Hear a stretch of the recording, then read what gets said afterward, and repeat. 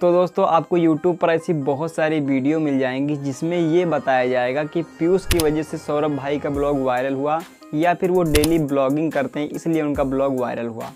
लेकिन आज की इस वीडियो में ऐसे मैं तीन सीक्रेट के बारे में बताने वाला हूँ, जिससे आपको पता लग जाएगा कि सौरभ जोशी ब्लॉग चैनल जो है, वो किस वजह से वायरल हुआ है।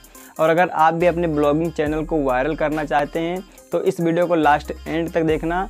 और अगर आपने इस चैनल पर पहली बार विज़िट किया तो चैनल को सब्सक्राइब करके साथ में बेलाइकन ज़रूर प्रेस कर लेना, क्योंकि हम आगे भी ऐसे नॉलेजबल वीडियो लाते रहेंगे। तो चलो दोस्तों, वीडियो स्टार्ट करते हैं।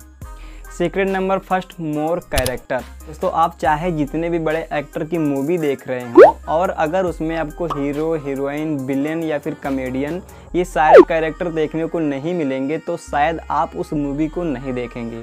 इसी तरीके से जो सौरभ जोशी ब्लॉग चैनल है इसमें बहुत सारे कैरेक्टर हैं। For example mummy papa Rio Sahil Saurabh Joshi और पीयूष।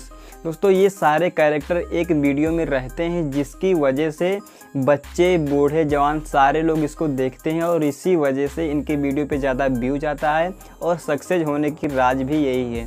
क्योंकि दोस्तों, हर एक व्यूवर इनकी फैमिली के साथ अपने आप को रिलेट करने लगता है और इसी वजह से इनकी हर एक वीडियो में लोग इंटरेस्ट दिखाते हैं, ज़्यादा से ज़्यादा देखते हैं और इसी वजह से इनकी हर एक वीडियो वायरल हो जाए दोस्तों सेकेंड सीक्रेट फ़र्स्ट चैनल मतलब सौरभ जोशी आर्ट दोस्तों, आप में से बहुत सारे लोग नहीं जानते होंगे, मैं आपको बता देता हूँ कि सौरभ जोशी ब्लॉग से पहले एक इनका और चैनल था, जिसका नाम है सौरभ जोशी आर्ट और अभी भी है। दोस्तों, इन्होंने सबसे पहले वही यूट्यूब चैनल ओपन किया था और उसमें इनके अच्छे खासे सब्सक्राइबर थे व्यूज़ भी अच्छे खासे ही आ रहे थे। इस वजह से इन्होंने एक और चैनल खोला, जिसका नाम रखा सौरभ जोशी ब्लॉग। दोस्तों, अगर आप ऐसे ही रैंडमली अपने ब्लॉग चैनल पर डेली ब्लॉग डाल रहे हैं तो शायद आपको इतनी जल्दी सक्सेस नहीं मिलेगी जितनी जल्दी इनको मिली है। दोस्तों, इनका एक पहले से चैनल था और जैसे इन्होंने दूसरा चैनल ओपन किया, जो इनकी पहले की ऑडियंस थी, वो दूसरे चैनल पर कन्वर्ट हो गई और इस वजह से इनको ज़्यादा मेहनत भी नहीं करनी पड़ी। मैं आपको बता देता हूँ, इन्होंने शायद ट्वेंटी वीडियो अपलोड किए थे और 100 के सब्सक्राइबर इन्होंने गेन कर लिए थे। तो आप सोच सकते हैं कि अगर आप ऐसे रेंडमली कोई भी वीडियो अपलोड कर रहे हैं अपने ब्लॉग चैनल पर तो आपको कौन देखने वाला है? क्योंकि इनके पास पहले से ऑडियंस थी और वो लोग ये जानना चाहते थे। अगर ये दो से चार घंटा अपने आर्ट में बिज़ी रहते हैं तो बाकी के टाइम में ये क्या करते हैं? और इसी वजह से जब इन्होंने ब्लॉग चैनल ओपन किया तो इनकी पहले की ऑडियंस यहाँ पे कन्वर्ट हो गई और इन्होंने जल्दी से ग्रोथ हासिल कर ली। थर्ड सीक्रेट है सस्पेंस दोस्तों, इनकी हर एक वीडियो में कोई ना कोई सस्पेंस ज़रूर होता है।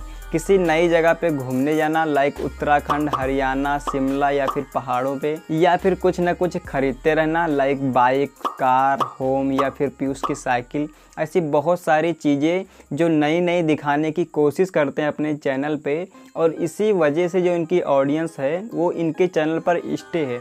क्योंकि उनको पता है कि इनके वीडियो में कुछ ना कुछ नया सीखने को मिलेगा या फिर कुछ ना कुछ नया देखने को मिलेगा। और इसी वजह से इनकी ऑडियंस इनसे बहुत ही ज़्यादा प्यार करती है और यही वजह है जिसके कारण ये अपने चैनल को ज़्यादा से ज़्यादा ग्रो कर पाएँ।